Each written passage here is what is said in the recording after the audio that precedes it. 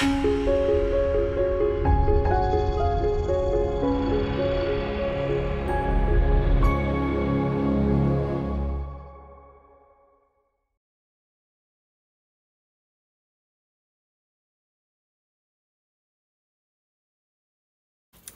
everybody, it's Lynne Forsythe here and I am going to be doing a little bit of gel press playing today. I'm going to be working with the Impressables. Now, when I first saw these, I was like, well, what do you do with them? I'm not really quite sure. So, I just pulled out some papers and started to play. Um, and these are some of the pulls that I got. Not even sure what I'm going to use any of these for. Could be an art journal page could be a collage, something, something. But anyways, this was my play that I had using multiple colors and all different kinds of things. So I'm just going to show you how I did that play. Now, I did kind of add another one in today. So what I'm using, I'm going to be working is with the 7 by 7 Impressables, okay? So I have overlapping circles. This one is called Squares and Squares.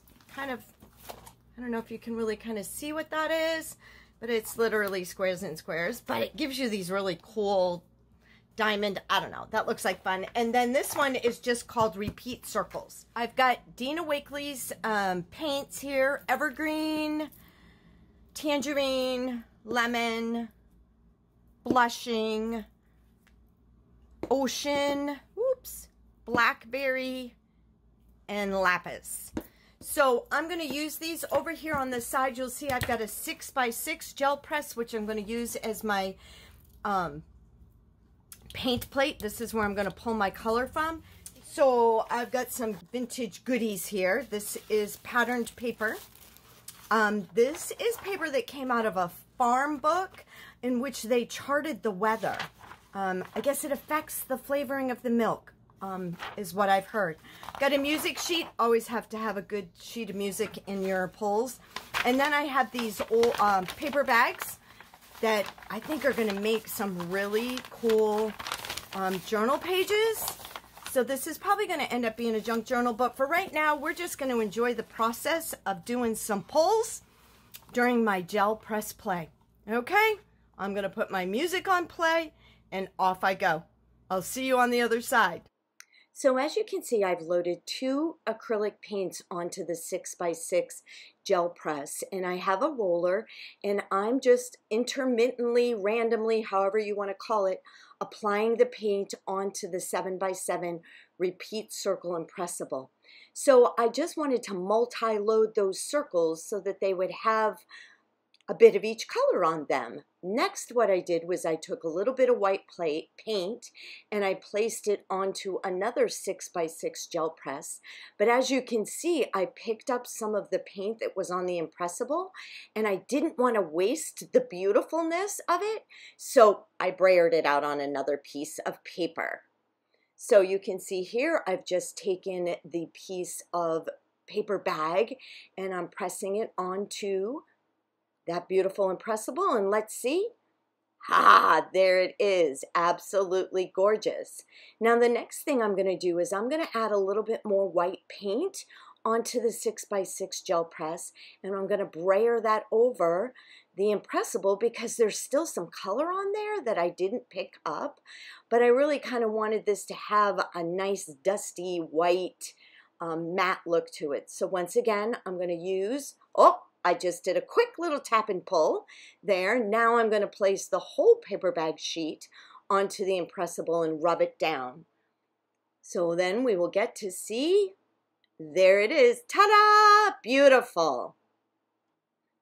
Now, as you saw in that previous clip, there was all that beautiful paint on that 6x6 plate, and you don't want to waste it.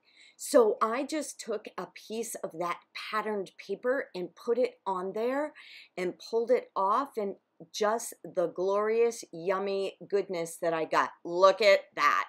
Yay! Okay, so in this one you can see I did it just a little bit different. I didn't have the colors side by side. I had them under each other so you can see it's kind of a blended color effect and I absolutely love that. Once again, doing the pull on the paper bag paper and I was looking at it and decided this side needed just a little bit more of the yellow. All right, so I wanted to show you all the pulls that I got from my gel press play. I know this is really kind of fast, but I just wanted you to be able to see what I had done um, and on the various sheets of paper and how cool and pretty they came out. It was so much fun and that the paint pulls off of the 6 by 6 are just gorgeous. So I've got a lot to work with. So here it is. I just took a little piece of yarn, um, some thread, and some vintage lace that I have. And that's my tie for the book. So for the flower on the front, all I did was I took a piece of leftover cardstock that I had, drew a flower onto the back of it, cut it out. Then I used the cutout as my pattern for the back piece. So anyways, when I had done some of my pulls, I did it on both sides. So what I'm going to do is I'm just going to cut a circle. Doesn't have to be perfect. Doesn't have to be anything. Doesn't even have to really end up being circular. I just kind of do them all. All right, so here it is. And all I'm going to do now is I'm going to go in and I'm just going to cut, cut a spiral. And I'm keeping it kind of thin right here because I didn't want it, I don't want it really high. So I'm just going to keep going round and round, cutting my spiral. Oops, getting a little big there.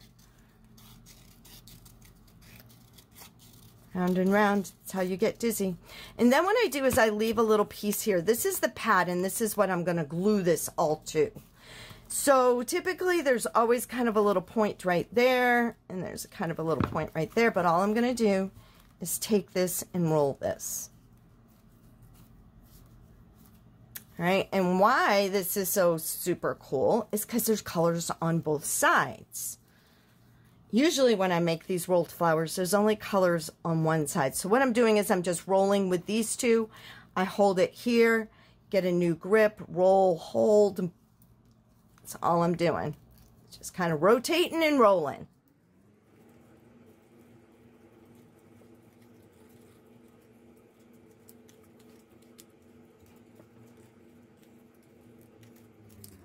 All right, so I've got it all rolled up.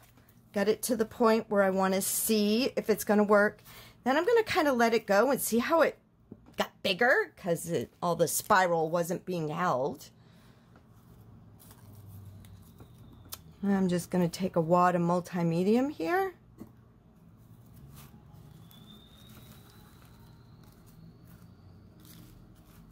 I'll hold it for a second so that it can set up. And that's how I created this um, spiral flower in the middle. All right, and I do like to crush them. That's just kind of me.